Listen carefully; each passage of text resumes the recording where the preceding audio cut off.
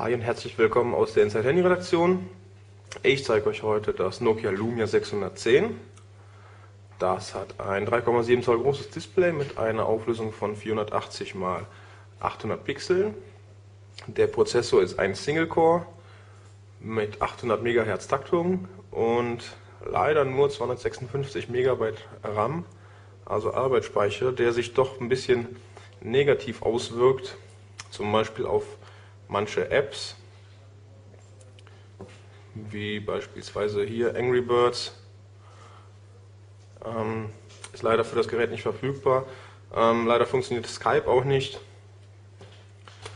Der Speicher ist 8 GB groß, nicht erweiterbar, trotz dass es sich hier hinten ähm, öffnen lässt. Darunter ist der Akku und eine SIM-Karte kann eingesetzt werden. Hinten haben wir noch eine 5-Megapixel-Kamera mit Flash-Unterstützung. Ähm, macht 480p Videos.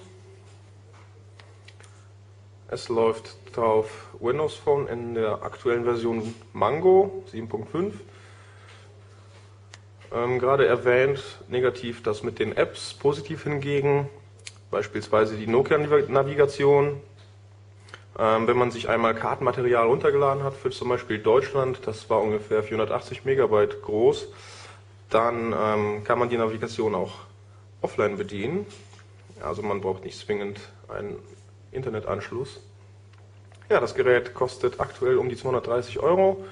Ähm, wir haben es hier jetzt in schwarz, es ist auch in weiß, blau und so einem rot-rosa Ton erhältlich. Das war's hier aus der Inside Handy Redaktion. Bis demnächst.